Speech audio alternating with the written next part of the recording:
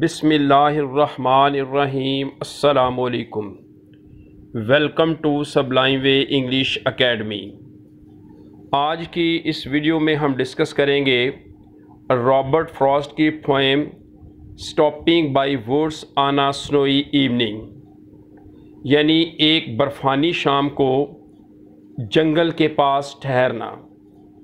Viewers ये poem पढ़ने में बहुत ही सिंपल स्ट्रेट फॉरवर्ड है बट मीनिंग्स के लिहाज से ये बहुत ही इंस्पिरेशनल मोटिवेशनल और गौर फ़िक्र पर मबनी है। फ़र्स्ट ऑफ़ ऑल हम स्टेंजा वाइज इसकी ट्रांसलेशन करते हैं और फिर एंड पर इसकी कुछ एक्सप्लेशन की जाएगी। तो स्टार्ट करते हैं। In the first stanza poet says पहले स्टेंजा में शायर कहता है whose woods these are I think now ये जंगल किसका है? मेरा ख्याल है, मैं जानता हूँ। वुड्स कहते हैं, जंगल को। अगर वुड हो तो इसका मीनिंग लकड़ी होता है, और वुड्स का मीनिंग जंगल अ स्मॉल फॉरेस्ट कुछ वर्ड्स ऐसे होते हैं कि उनके हम जब प्लूरल बनाते हैं तो मीनिंग्स चेंज हो जाते हैं। इसी तरह वुड भी एक ऐसा ही वर्ड है। वुड का मीनिंग लकड़ी होता है, जबकि वुड्स का मीनिंग अ स्मॉल फॉरेस्ट एक छोटा जंगल। इसी तरह गुड गुड हम कहते हैं अच्छा और जब इसको हम प्लूरल बनाते हैं गुड्स तो इसका मीनिंग होता है अशिया। तो इस तरह कुछ ऐसे वर्ड्स हैं कि उनके सिंगुलर से प्लूरल बनाएँ तो मीनिंग्स चेंज हो जाते हैं। हुज वुड्स दीस आर ये किसका जंगल है? आई थिंक आई नो मेरा ख्याल है, मैं जानता हूँ। यानी पोइट कहना ये चाह रहा है कि जिस जंगल में मैं खड़ा हूँ, मैं जानता हूँ कि ये किसका जंगल है। इसका ओनर कौन है? इसका मालिक कौन है? His house in the village though. गरचे उसका घर गाँव में ही है। He will not see me stopping here लेकिन वो मुझे यहाँ खड़ा हुआ देख नहीं पाएगा। यानी उसके इलम में नहीं है कि मैं उसके जंगल में खड़ा हूँ। To watch up his woods उसके जंगल को देख रहा हूँ। फिल अप विद स्नो जो बर्फ़ से ढका हुआ है, भरा हुआ है। हॉइट कहता है कि जिस जंगल मैं, जिस जंगल में खड़ा हूँ, मैं जानता हूँ कि ये किसका जंगल है। उस शख्स का घर, जो इसका मालिक है, गाँव में ही है। लेकिन वो मुझे यहाँ खड़ा हुआ नहीं देख पाएगा कि मैं यहाँ उसके जंगल में खड़ा हूँ और उसके जंगल को बर्फ़ से ढका हुआ देख रहा हूँ। In the next stanza poet says my little horse मेरा छोटा घोड़ा मस्ट थिंक इट क्वियर ये अजीब ख्याल करता होगा। पोइट कहता है कि मैं अपने घोड़े पर सवार हूँ और जब मैं यहाँ रुक गया हूँ तो मेरा घोड़ा भी इस बात को अजीब, क्वियर, अजीब ख्याल करता होगा to stop without a farm house near कि मैं यहाँ खड़ा हो गया हूँ, जबकि यहाँ पे कोई फार्म हाउस भी नहीं है, ठहरने के लिए कोई फार्म हाउस भी नहीं है तो मैं कैसी जगह पर ठहर गया हूँ? मेरा घोड़ा भी इस चीज़ को, इस बात को अजीब ख्याल करता होगा। Between the woods and frozen lake जंगल के और जमी हुई झील के दरमियान। The darkest evening of the year जबकि ये साल की सबसे तारीख तरीन शाम है। यानी जिन रातों में या जिन शामों में वो चाँद भी अपीयर नहीं होता तो ये एक ऐसी शाम है, साल की सबसे तारीख, अंधेरी शाम है। तो फोइट कहता है कि मेरा घोड़ा भी इस बात को अजीब ख्याल करता होगा कि मैं कैसी जगह पर ठहर गया हूँ जहाँ पे ठहरने के लिए स्टे करने के लिए कोई नज़दीक फार्म हाउस भी नहीं है। और जंगल और जमी हुई झील के दरमियान में मैं ठहर गया हूँ।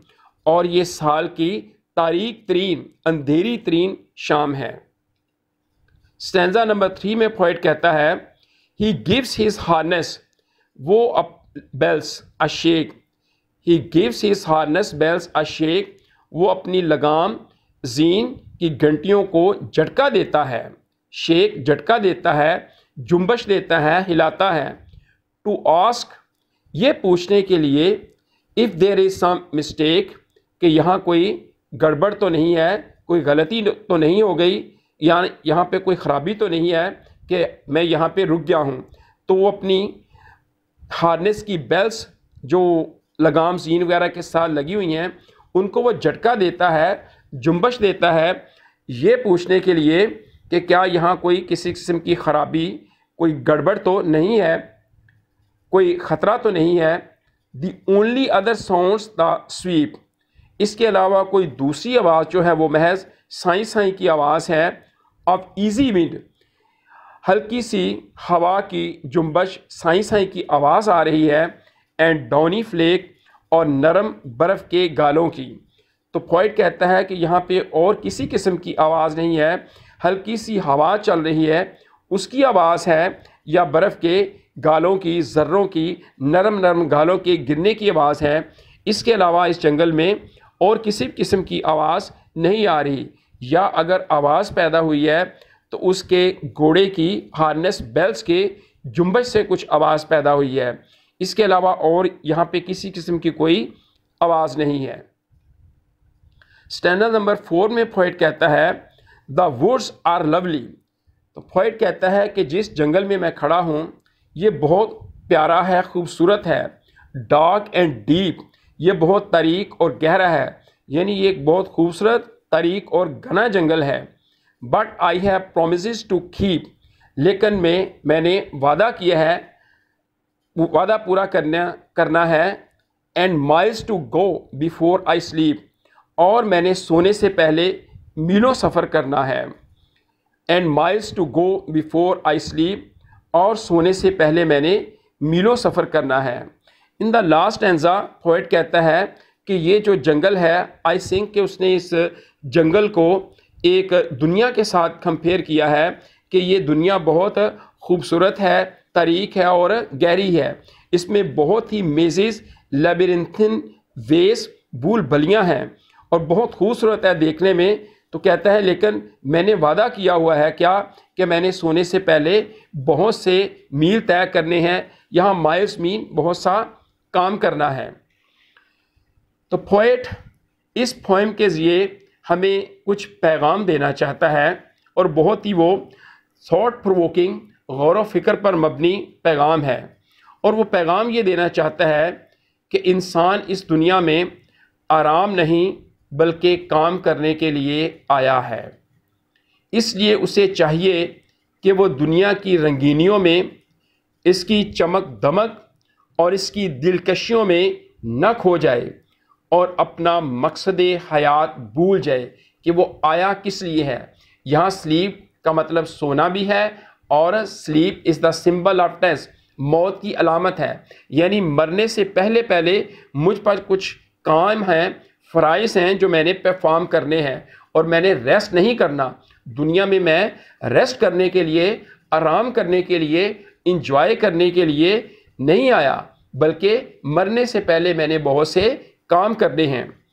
तो उसे चाहिए कि अपने फ़राइज़ को बखूबी समझे कि मैंने करना क्या है।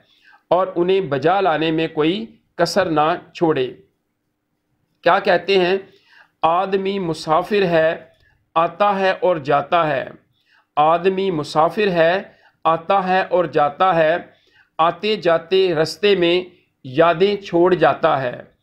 क्या साथ लाए, क्या छोड़ आए, मंजिल पे जाके याद आता है। तो जब मंजिल पे इंसान पहुँचेगा तो फिर उसको याद आएगा कि मैं जब गया था दुनिया में तो मैंने वहाँ से क्या करना था, क्या कलेक्ट करके लाना था, कौन से मैंने वो काम करने थे जो करके मैंने आना था और मैं वो कौन से काम करके आ गया हूँ तो वहाँ पे उसको जाके याद आएगा। लेकिन फॉइड ही अपने आप को ये याद दिला रहा है कि मैंने कुछ काम करने हैं। कुछ सफ़र तय करना है, मीलों सफ़र तय करना है मीन्स काम करने हैं। दुनिया में दुनिया जैसी नज़र आती है। ये दुनिया जिसमें हम रह रहे हैं, ये जैसी नज़र आती है, ऐसी है नहीं। इसका ज़ाहिर कुछ है और हकीकत कुछ है।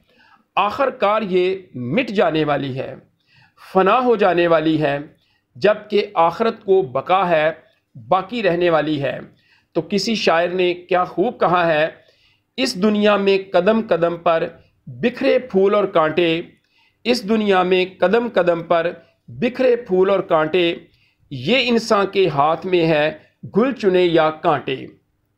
इसके अलावा इमाम मालिक रहमत बहुत ही खूबसूरत बात करते हैं। आप फरमाते हैं, इंसान वाहद मखलूक है जिसकी दो पैदाइशें हैं। पहली पैदाइश वो है जब वो माँ के बतन से जन्म लेता है। यहाँ से मुझे हज़रत अबू बकर सद्दीक के हवाले से एक बात याद आ गई कि इंसान जो ईगो में मुबतला रहता है, वो गौर तो करे, आप फरमाते हैं कि इंसान दो मरतबा गंदी जगहों से निकलता है, पहले बाप के नुतफ़े से और फिर माँ के पेट से। तो बाहर बात यह कर रहा था कि इमाम मालिक फरमाते हैं, इंसान वाहद मखलूक है जिसकी दो पैदाइशें हैं। पहली पैदाइश वो है जब वो माँ के बतन से जन्म लेता है और इस दुनिया में जलवा फरोश होता है। और दूसरी वो पैदाइश है जब उसको इस बात का इल्म होता है और पता चलता है कि वो क्यों इस दुनिया में आया है। यानी उसका मकसद हयात क्या है?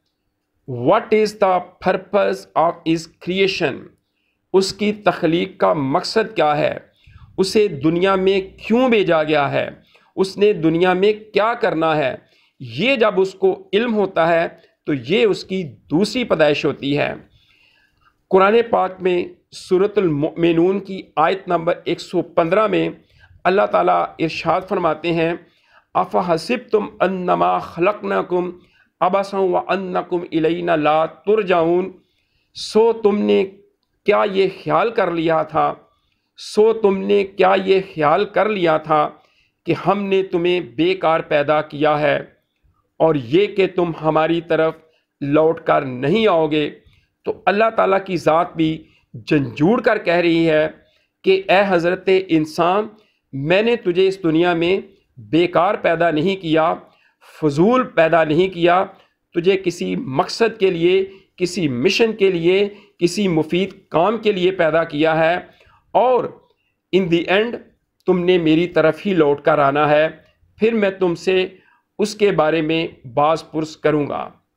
वीडियो अच्छी लगे लाइक और शेयर करें and keep in your mind to subscribe the channel for more useful videos और आखिर पर वीडियोस के बारे में कमेंट्स ज़रूर दें। असलकम अल्लाह हाफिज़